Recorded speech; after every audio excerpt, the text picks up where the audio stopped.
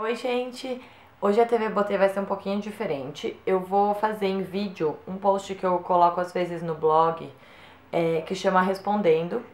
Eu faço um compilado de perguntas que eu acho que, em vez de responder direto só pra pessoa, uh, vão interessar é, outras leitoras. Tipo, a sua dúvida pode ser a do amiguinho. Então eu tenho aqui uma seleção de algumas perguntas, uh, ou que são muito recorrentes, ou que eu achei que poderiam ficar interessantes no vídeo. E depois vocês contam se gostaram, é, porque daí de repente eu posso fazer sempre, assim, essa, essa, esse tipo de vídeo.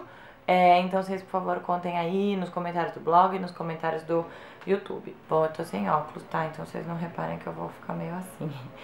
Tá, a primeira pergunta é: pode usar blush com brilho mais sombra cintilante durante o dia? Olha, eu acho que sim. Claro que tudo tem né, um limite, mas é, você não vai usar aquele blush mega brilhante, tipo, sei lá, o Shimmer Brick da Bobbi Brown.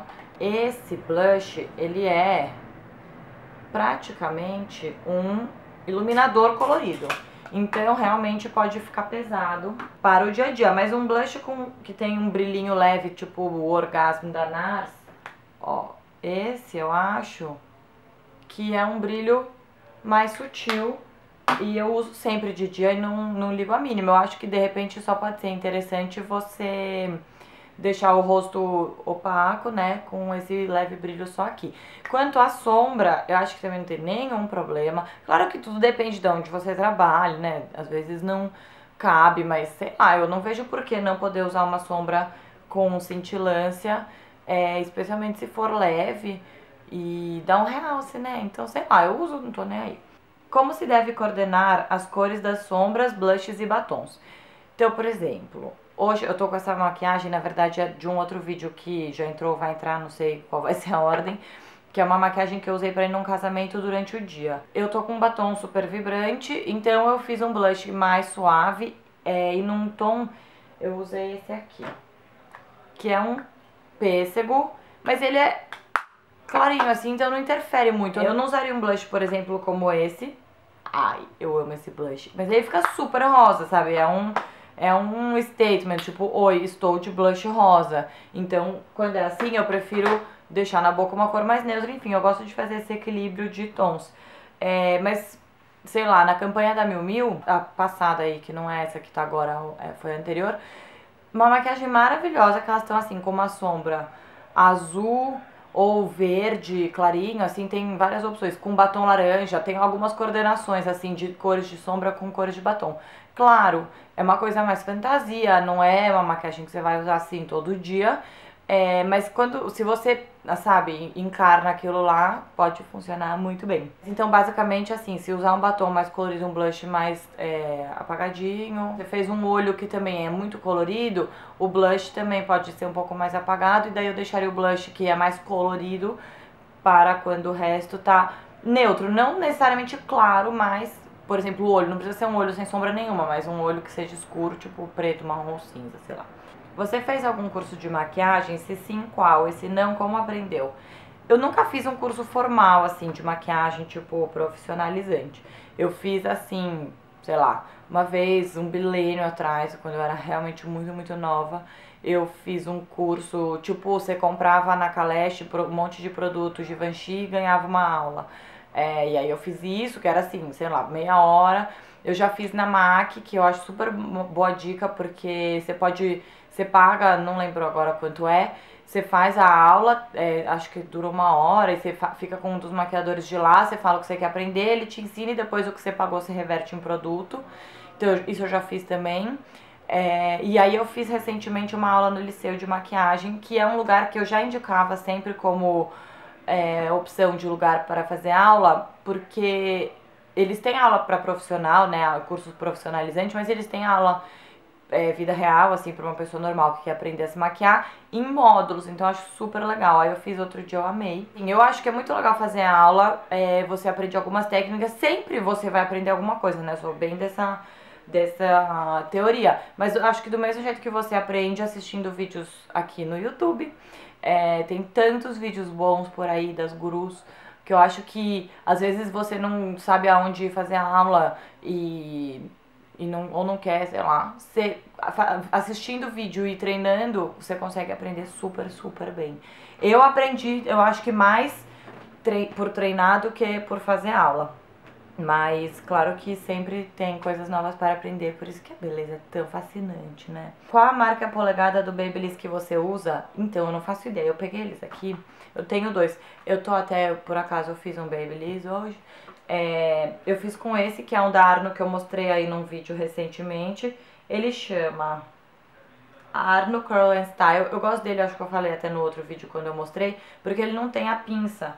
Como eu não uso a pinça, porque pra mim é o jeito que é mais fácil de fazer babyliss. Eu só pego, enrolo e solto. No que tem a pinça, eu enrolo por cima, não abro, eu faço assim. Então eu acho bom e eu gosto que ele é cônico porque faz aquele cacho que fica mais gordinho assim e cai, cai bem.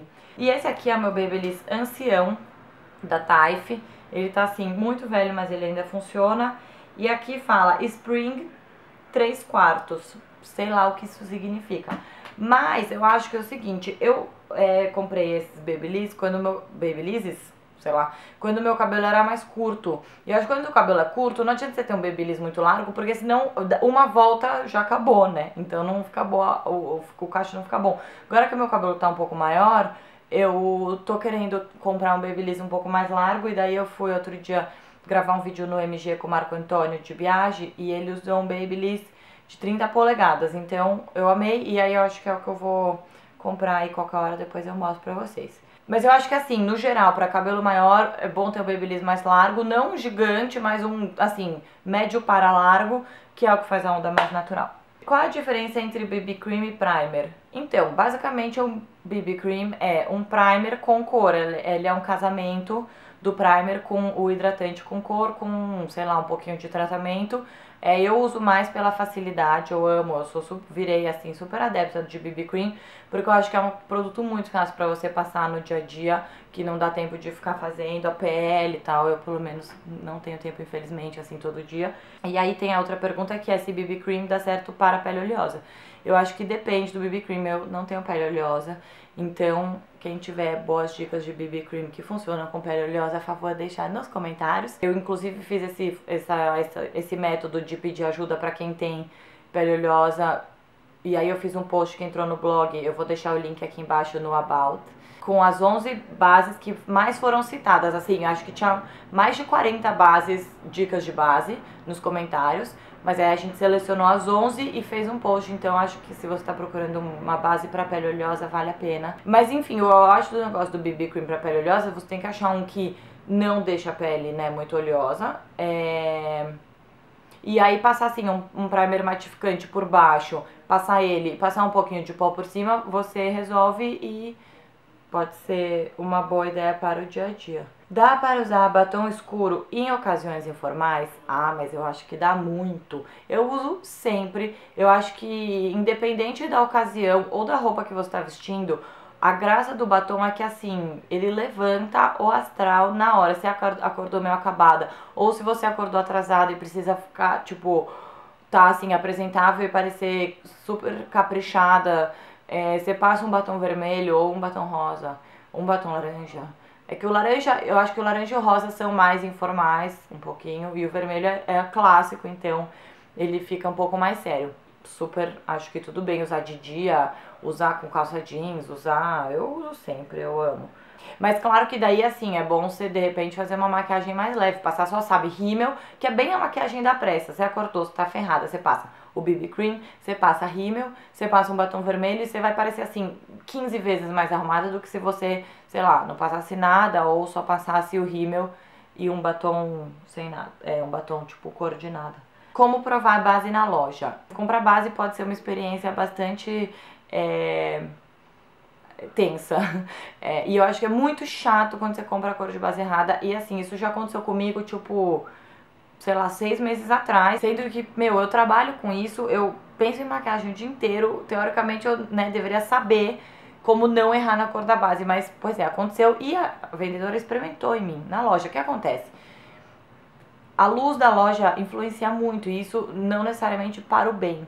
É, até eu sei que, assim, na MAC eles estão. As lojas novas têm Na MAC e na Sephora também, eles estão fazendo um esquema muito legal de espelho, assim, com luzes é, que variam para você conseguir ver o efeito e tal, mas quando você não tem isso, é, o ideal, tá? O ideal, o mundo ideal, você vai na loja de manhã sem nada no rosto, passa, pede pra vendedora, passa a base no rosto inteiro e fala, obrigada, vou dar uma volta, daí eu vou ver como que se comporta.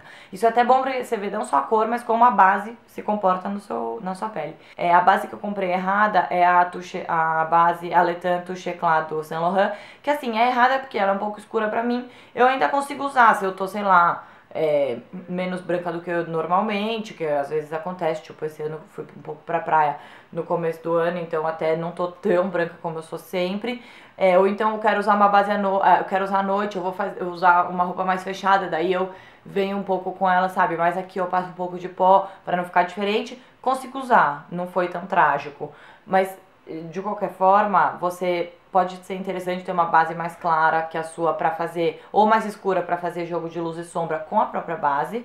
É, já falamos né, disso em alguns outros vídeos. E também porque do inverno pro verão, realmente a nossa cor muda, mesmo que você não tome só no rosto, você tomou no corpo, daí você precisa igualar. Então, também não é que assim, é, você tem que ter uma base da cor exata da sua pele, porque às vezes tem essas outras circunstâncias. Estou me estendendo muito nessa resposta. Mas é que a última coisa que eu queria falar que eu aprendi no liceu, nessa aula que eu fiz, é a, eu sempre experimentei a base aqui.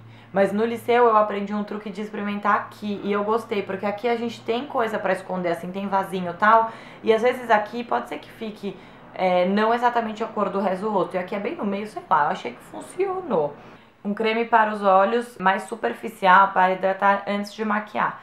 Eu tenho dois que eu é, alterno. Às vezes eu até esqueço, às vezes acho que não, sempre eu esqueço de mostrar no vídeo, acho que eles nunca apareceram, porque eu acabo passando, assim, o hidratante, o creme de olho e daí que eu começo o make. Então tem dois. O Fast Response da MAC, que é um clássico, eu acho que assim, é isso, sabe? Ele é um creme que não vai fazer milagres por você, mas ele dá aquela hidratada boa aqui para o corretivo não craquelar, que é, acho que é para isso que a gente acaba gostando. E o outro é o MD da Contém 1 grama, é, que tem essas bolinhas, então é legal de... Precisa combinar a cor da sombra com a roupa?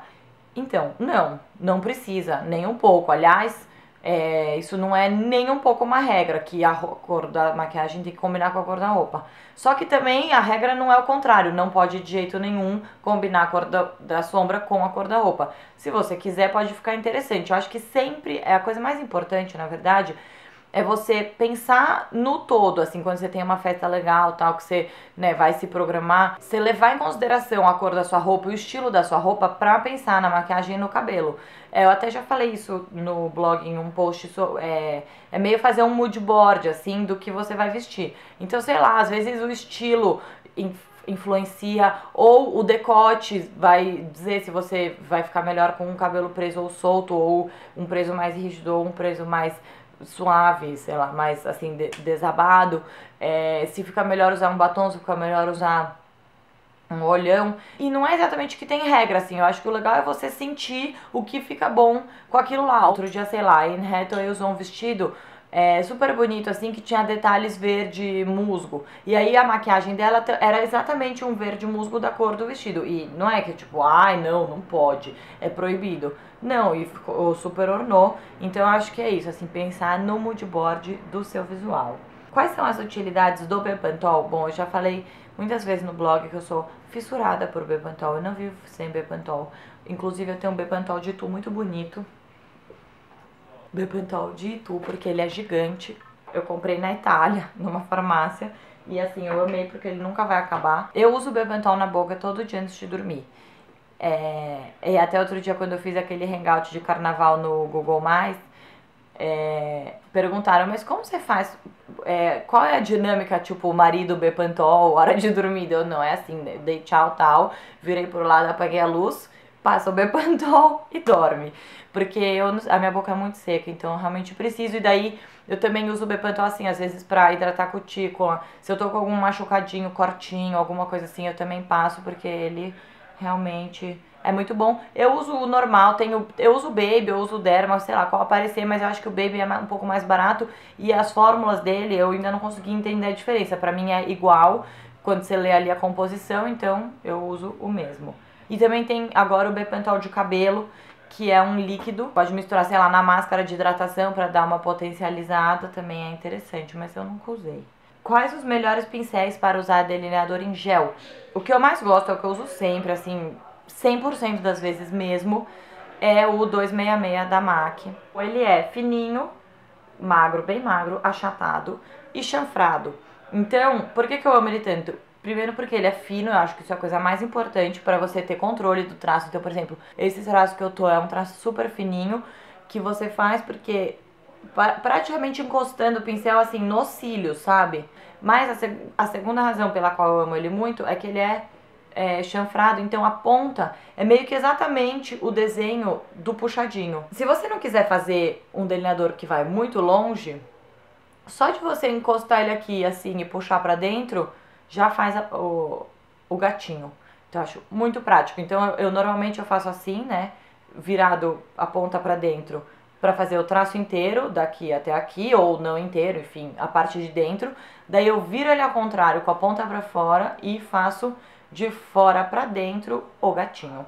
Esse para mim é o jeito mais fácil de passar delineador. E eu tenho certeza que se vocês treinarem todo dia, tipo, escovou o dente e passou delineador, vocês vão conseguir. Ou como bem disse minha amiga outro dia, Bel, beijo pra você.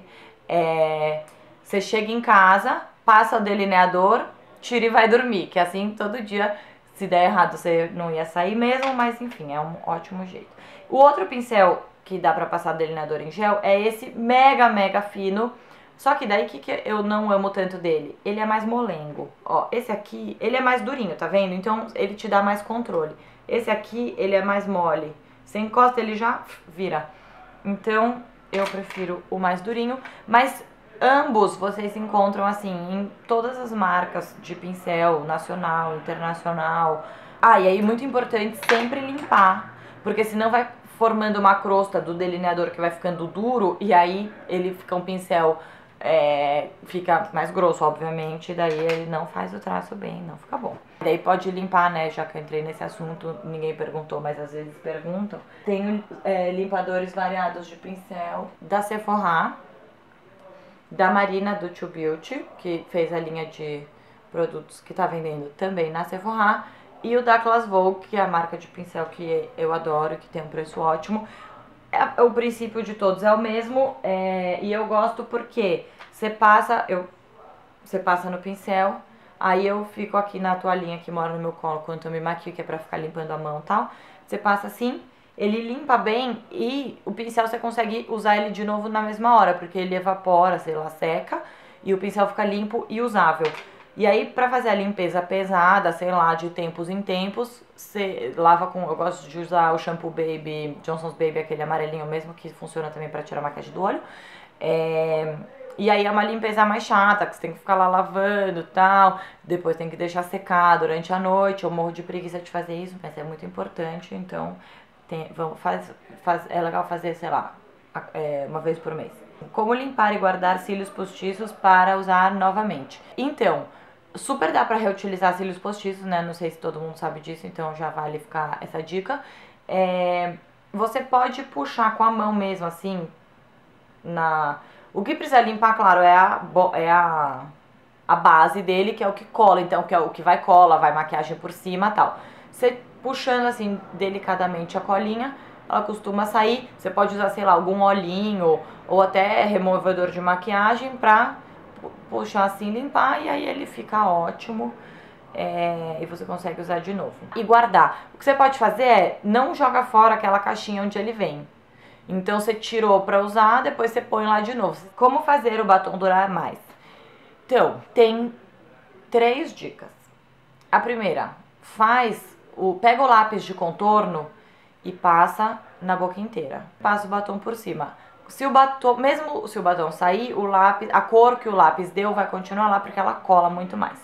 Dica número dois, aí vocês podem é, combinar essas três dicas ou fazer uma a qual achar melhor ou duas tal passa uma camada de batom, tira o excesso com um lenço de papel, passa outra camada, daí você pode tirar o excesso de novo, passar outra camada. São quatro dicas, na verdade. Então, a, a dica número três é, você pode passar uma camada, tirar o excesso, passar um pouco de pó, finalizador, pó, qualquer pó, pó translúcido, passar outra camada, porque daí também isso ajuda a fixar. E a dica número 4 é passa o batom e coloca um pigmento que seja da mesma cor que ele por cima. Isso deixa ele super opaco, então é uma dica combo, que isso também é um jeito de deixar um batom que não é opaco, opaco, e ele também dura bem mais. E a última coisa é escolher um batom opaco. Os batons mate, eles colam muito mais na boca e duram muito mais. Naturalmente, um batom cremosinho vai sair muito mais fácil, isso não tem jeito. Acabou! Aê! Muito bem. Bom, espero que o vídeo não tenha ficado muito grande. É, espero que vocês tenham gostado. Então, daí vocês contam aí, deem o feedback para mim. Por favor, eu amo feedback, tá? Eu leio todos os comentários, todos os é, chamados das redes sociais. Então contem e se daí vocês quiserem deixem perguntas para os próximos, tá bom? Tchau, gente!